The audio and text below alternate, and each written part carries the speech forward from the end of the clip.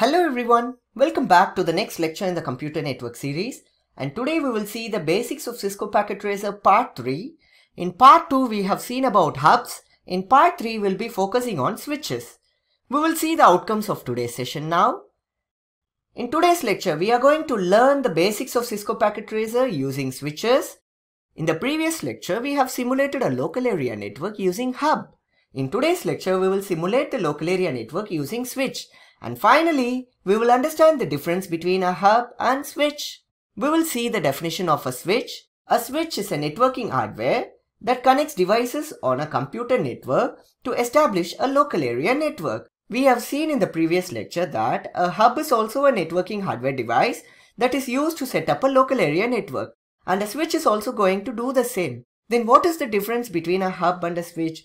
The main difference between a hub and a switch is hub has no memory whereas switch has memory. And what the switch is going to do with the help of this memory? In a computer network, every device is identified with the help of IP address and MAC address. So the switch, it is going to store the MAC address in its memory. So switch is going to store the MAC address table in the memory that it has. And is there any other difference between a hub and a switch? Yes, we have a lot of differences and the very important difference is that a hub is a layer 1 device whereas a switch is a layer 2 device that is used for setting up a local area network. We are going to see the difference between the hub and the switch elaborately shortly. We will see the working of a switch now.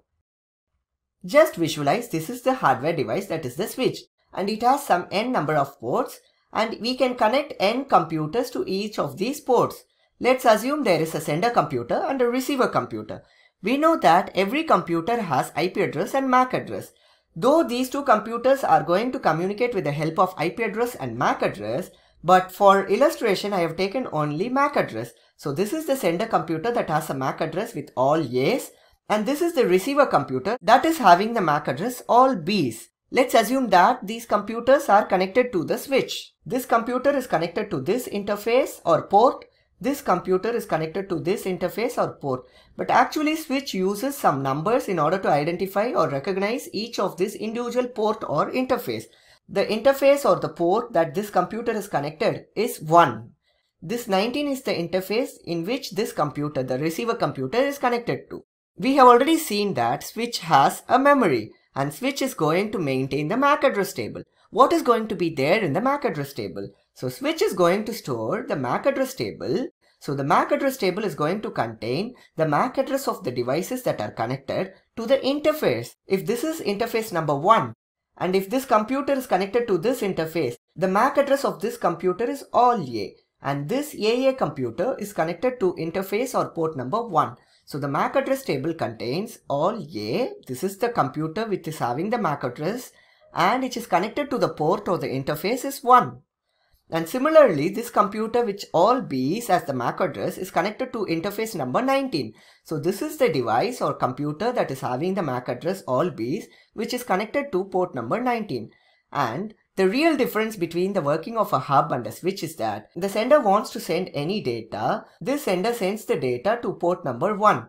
Now port number 1 has received the data. If this is a hub, it broadcasts that information to all these ports except this port. Since it is a switch, it knows the destination MAC address is connected to which interface. So it just forwards the data or the packet to only that interface and the receiver computer now receives this packet. Hub floods the entire network whereas switch is not flooding the entire network. It sends the data to the exact destination. It doesn't mean that switch is not going to do multicasting or broadcasting. Switch can do unicasting, multicasting and broadcasting, but based on the need it does. If it is a hub, it always does broadcasting. So far we have seen the working of the switch. We will see how to create a local area network using Cisco Packet Tracer now. How to create a local area network using switch in CPT. CPT means Cisco Packet Tracer. So to do that, we will have to open the Cisco Packet Tracer and take any switch. I will prefer Cisco 2960 switch. Click on the switch and bring the switch to the workspace. Now click on the PCs or the end devices. I will bring 5 end devices here. 1, 2, 3, 4 and 5 end devices. Now we need cables in order to connect this PC and the switch. Now let's see how the switch actually looks like. Click on the switch and see the rear view of the switch. We can see there are 24 ports in the switch and these are called fast ethernet ports and these two are gigabit ethernet ports. They are called as ports or interfaces. So these ports are different from the port numbers that we refer in the transport layer. The port or the port numbers or the interface numbers that we refer here are identifying the individual port or the interface. These terms ports and interfaces are used interchangeably, but no problem. When we talk about ports in layer 2, they are hardware ports. Let me close this now.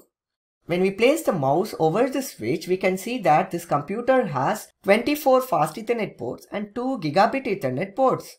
The numbers assigned for each of these ports are fast ethernet 0 bar 1, 0 bar 2, 0 bar 3 up to 0 bar 24 and gigabit ethernet 0 bar 1 and 0 bar 2. So we have in total 26 ports that are there. We can connect 26 devices.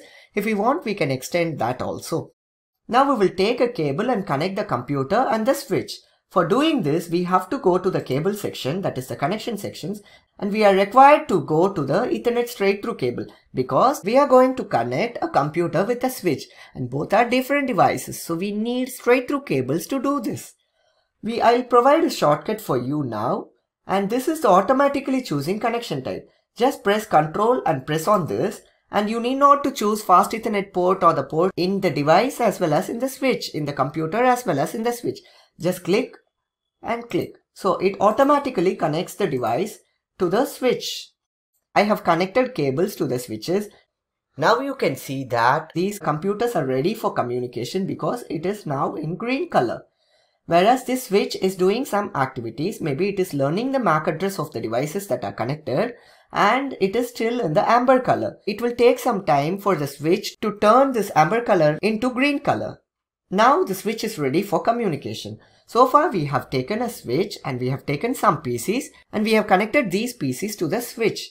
Now we are required to assign IP address to every computer or PCs but switch does its operation based on MAC address only not with the help of IP address. We will now see it practically. Let me go on to the PC, go to the desktop, IP configuration. Let me assign the IP address as 10.10.10.1 to this computer and let me assign 10.10.10.2 the second PC that is connected 10.10.10.2 and let me assign 10.10.10.3 to the third PC this is 10.10.10.3 and 10.10.10.4 be the IP address for the fourth PC 10.10.10.4 and finally it is 10.10.10.5 for the fifth PC 10.10.10.5. Now we have assigned IP address to all the individual computers that are connected to. We will see the IP address of the third PC. Let me click on the PC, command prompt, click IP config. We can see this is the IP address of the third PC. It is 10.10.10.3. Now we will send a packet from one PC to another PC and we understand that if it is a hub, it does broadcasting always. Since it is a switch, it does only unicasting. Let me take a packet. Let this be the source computer. Let this be the destination computer. We can observe the communication is successful. We have two modes of operations to carry out the task. This is real-time mode and this is simulation mode. Let me click on the simulation mode and let me take a packet and I'll place it on the first computer. It means this is the source computer and let me place it on the destination computer that this is the destination computer. The IP address of the source computer is 10.10.10.1 and the IP address of the destination computer is 10.10.10.4. For readability, let me click on the label and I will just mark it as 10.10.10.1. This is the label and this is 10.10.10.4. This is just a label. It has no role to play with the communication. Now let me click on the capture bar forward. Computer has sent the data to the switch the switch forwards the data to which the destination is connected to. The replay is also unicasting, unlike broadcasting in the hub. This is what the working principle of a switch is. I will show you how to see the MAC address table in the switch. To do this, just click on the switch, go to the CLI mode, press enter, type EN to enable and type show MAC address hyphen table that is show MAC address table and the switch has a memory and it stores this MAC address table.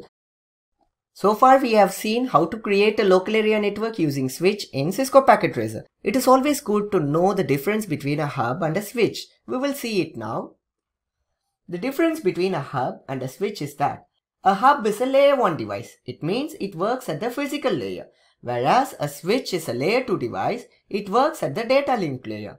We have already seen that hub has no memory, so there is no chance for the hub to store the MAC address related table.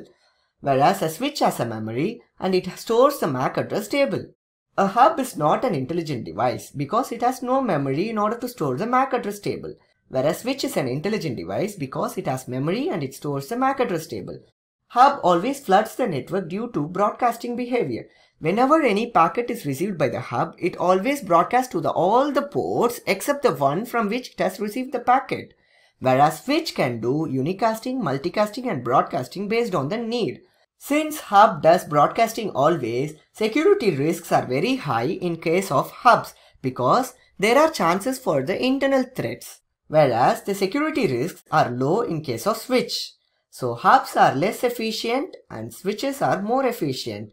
And we know that hubs always work in half duplex mode. It means hubs can send data as well as receive data, but not both at the same time. Whereas switch can do sending and receiving at the same time. And this is the comparison table between the hub and the switch. And that's it guys. So far we have learned the basics of Cisco Packet Tracer using switch and we simulated a local area network using switch and we also understood the difference between a hub and a switch. I hope the session is informative and thank you for watching.